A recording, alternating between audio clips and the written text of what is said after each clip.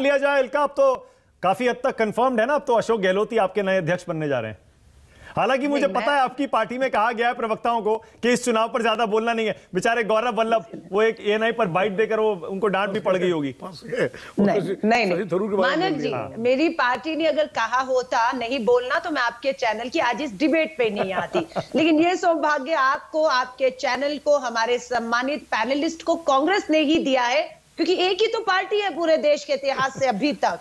1885 की पार्टी, एक सौ सैंतीस साल पुरानी पार्टी, इकलौती पार्टी, जिसमें आंतरिक लोकतंत्र आज भी ज़िंदा है, जिसमें आज भी अध्यक्ष पद का चुनाव होता है और मेरे जैसे कार्यकर्ता जो सदस्य उन्हें वोट करने का जो है, वो अवसर मिलेगा। भाजपा हो या नई नवेली, आम आदमी पार्टी हो 2012 से 22 आ गया। एक ही नेता अरविंद केजरीवाल। भाजपा हो, टीएमसी हो, बीएसपी हो, कोई लोकतंत्र नहीं, कोई चुनाव नहीं, कोई चर्चा नहीं। अभी तक तो सवाल थे, चुनाव होगा या नहीं होगा होगा नहीं, राहुल गांधी जी बन जाएँगे।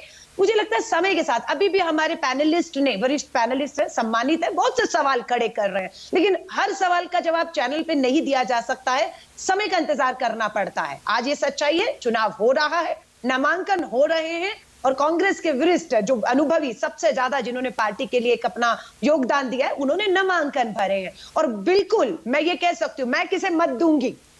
ये मेरा अधिकार है और मैं किसी को नहीं बताने वाली हूँ कि मैं किसे अपना वोट दूँगी। पर मुझे गर्व महसूस हो रहा है जैसे राहुल गांधी जी ने कहा। हाँ। और मैं जैसे सोनिया जी के चुनाव की बात करती हूँ उस समय भी मैं वोट वोट देने में शामिल थी। जितेंद्र प्रसाद जी सोनिया गांधी जी के सामने चुनाव लड़ने के लिए खड़े हुए और वो चुनाव हारे।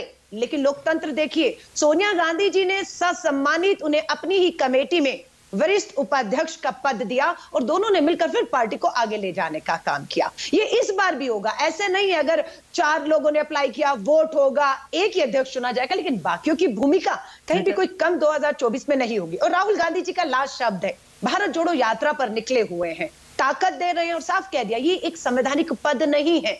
ये सिर्फ़ एक आप सॉरी संवैधानिक कह रही हूँ, एक ऑर्गेनाइजेशनल पद नहीं है।